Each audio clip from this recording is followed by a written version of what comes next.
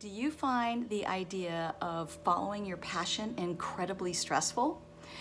If you do, you're probably one of the many people who hasn't quite figured out exactly what it is they want to do with their career. I've got great news for you. It doesn't have to be that oppressive, uh, and you don't have to know everything in order to start. The best advice I can give you is this Instead of focusing on finding your passion, follow your curiosity.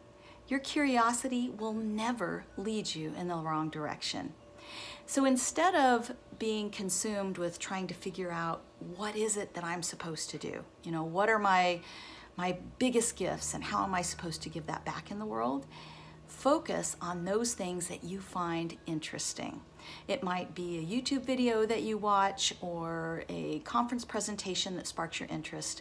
And write those things down, catalog them, and think about the things that you're curious both in your professional life and your personal life. Learn more about those things, volunteer, take classes, really follow that curiosity.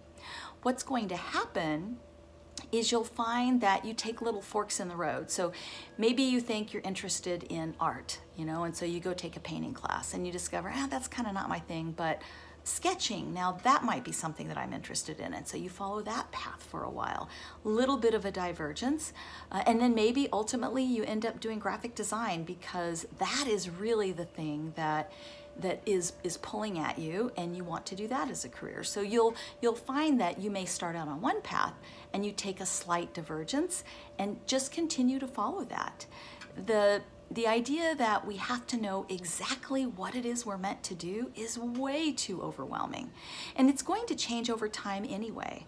So instead of focusing on this need to find your passion, instead focus on your curiosity.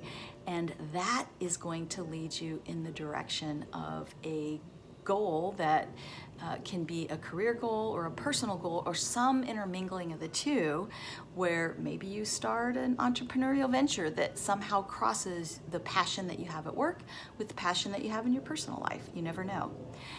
Go forward, be curious, and let me know in the comments how that helps you to find your passion.